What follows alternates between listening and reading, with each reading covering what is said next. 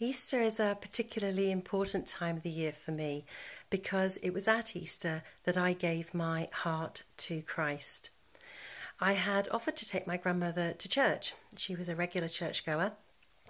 So I went to church with her that day, and it was during that service that I really felt God's love through Jesus completely surrounding me. And I felt very close to him, and I felt that he was calling me to really get to know him better.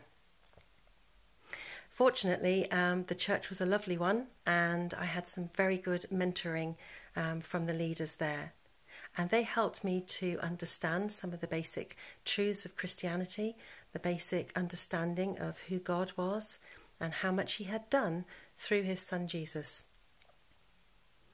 I'm now at St John's, and that has continued, and I really appreciate my church family and all that they have done to help me on that walk to get to know God, to get to know Jesus, and to understand the Holy Spirit far more deeply, far more deeply than I ever did.